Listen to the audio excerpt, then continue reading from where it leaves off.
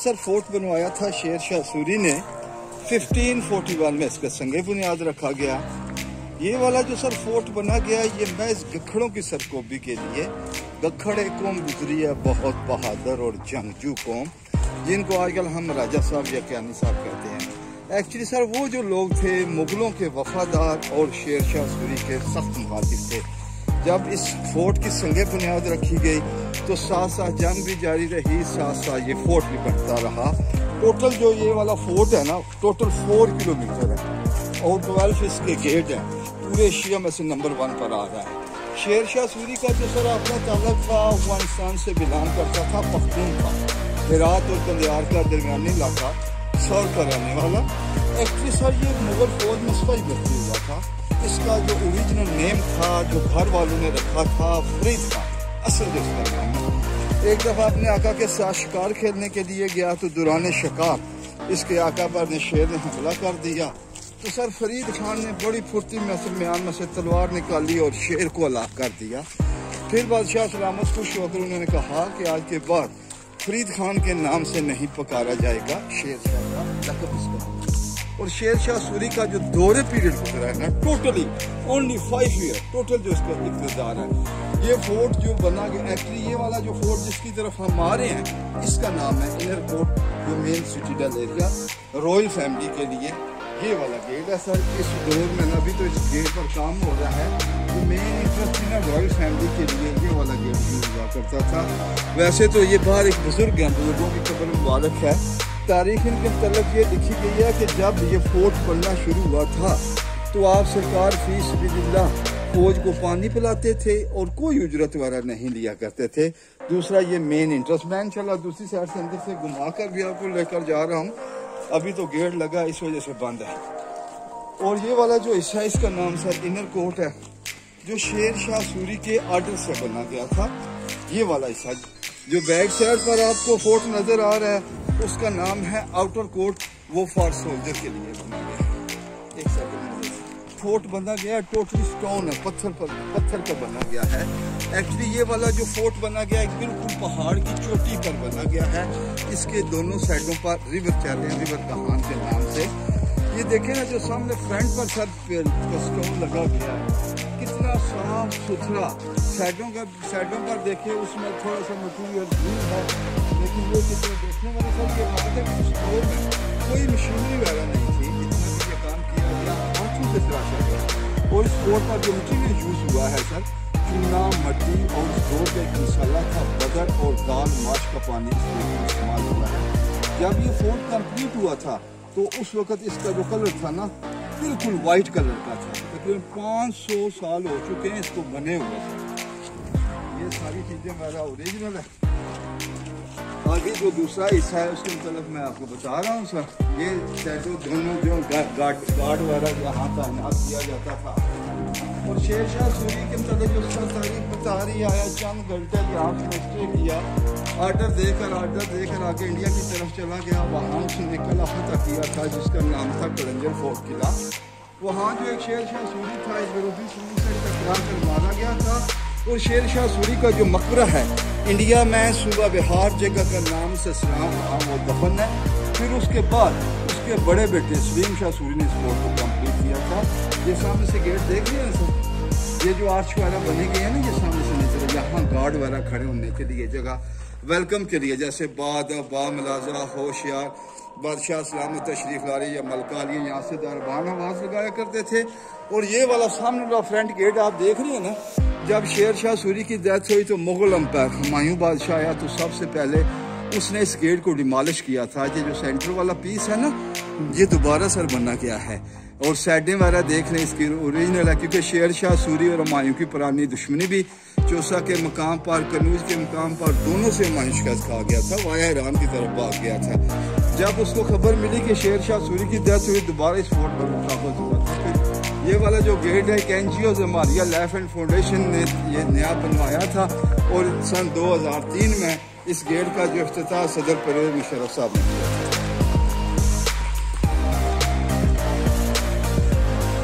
Sir, ये सामने वाला जो फ्रंट हिस्सा जिसका आपको मैंने विज़िट कराया ना, तारीख इसके मतलब ये बता रही है कि उस दौर में ये वाला जो हिस्सा था, शेर का सूरी का कोर्ट एरिया करवाता था? वो टॉप पर एक चबूतरा सा आपको नज़र आ रहा है ना, सर? वहाँ उसका जज बैठता था। नीचे ये जितनी ओपन जगह देख रहे हैं, यहाँ सारी आवाम बैठा करती थी उस दौर में। जो भी फैसला होता था, इसी जगह से दिया जाता था। कुछ लोग कहते हैं जज साहबान, ऊपर बैठते तो नीचे आवाज़ का क्या कंसर्न असल में ये बात है कि उस वक्त बाई मशीनरी अपने बिजली वगैरह का नामो निशान नहीं हुआ करता था। जब जज साहबान कोई भी बात करते, साथ उनके आकर होते थे। आकर आप समझते हैं? जो दोबारा आवाज़ रिपीट कर, बुलंद करके था पूरी आवाम तक आवाज़ सुनाई देती थी। ये वाला इसका नाम है का कोर्ट एरिया। ये बैक साइड देख रहे हैं। इसका नाम है आउटर रोड ये खास सोल्जर के जब शेर शाह सूरी की डेथ हुई तो बाद में उसके बड़े बेटे सलीम शाह सूरी को कहते हैं जनाब वेपन स्टोर रूम ये पूरे फोर्ट में 75 रूम बने गए हैं मुख्तलिफ़ जगहों पर। उस वक़्त का जो जदीद तरीन असला ये था कि तलवार, तीर, नेज़ा और मंजनी के अंदर भी आ जाए। आपने अंदर से सिर्फ़ ये देखना है कि इसकी छत की डायरेक्शन देखनी है। किसी जगह पर सरिया नहीं लगा गया टोटली स्टोन है। जो फॉरनर लोग आते हैं ना, यही चीज़ें देखते हैं। ये सेटों पर गार्ड वगैरह खड़े होने के लिए जगह महसूस होनी गई है नेक्स्ट इसके बाद आपको इसके ऊपर लेकर जा रहे हैं, ऊपर से इसके आउटसाइड का व्यू दिखाएँगे, जिस पर ये फोर्ट बना गया है। एक्चुअली मैं बयान कर चुका हूँ कि ये पहाड़ के ऊपर फोर्ट बना गया है। नेक्स्ट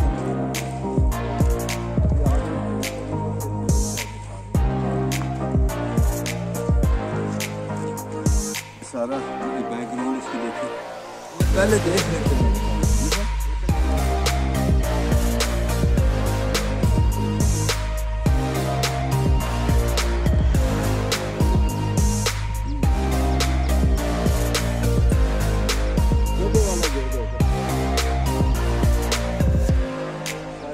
सर जंगल है। सारा जंगल के ऊपर ही फोर्ट बना गया है।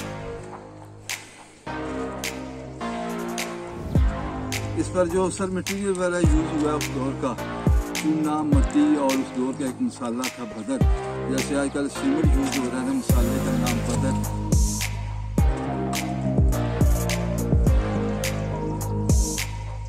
ये जो दीवार है, पच्चीस से तीस फुट तक वॉल इसकी चौड़ाई है।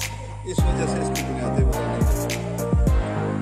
जो है। ना रास्ते जो है ये ऊपर जितनी नशिस्तें लगी गई हैं इधर फौज वगैरह ऊपर खड़ा हुआ करती थी ना, और ये जो नीचे टनल चाह रहे ना सीक्रेट में अंदर रूम वास्ते हैं।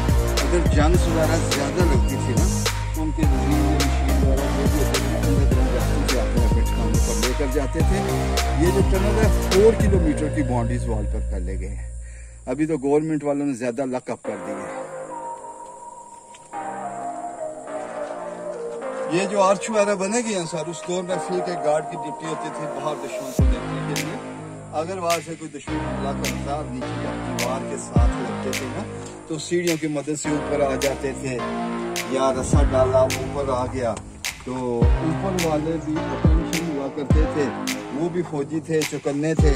इधर आकर बाइक से हॉट वाटर फ्लू दुश्मन गिराया जाता था, गर्म पानी या गर्म ऑयल यहाँ से कैनन जो पत्थर वाली बंदूक है, वो इस्तेमाल हुआ यहाँ से एरो तीर वगैरह इस्तेमाल किए जाते थे उस वक्त की ये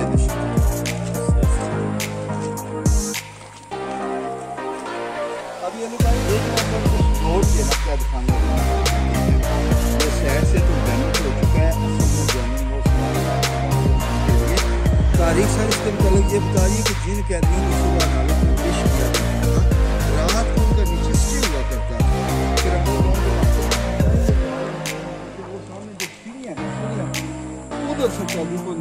उधर अदालत में उनकी पेशगी हुआ करती थी। आगे पेशी सारा भी गए ऊपर भी जाएँगे।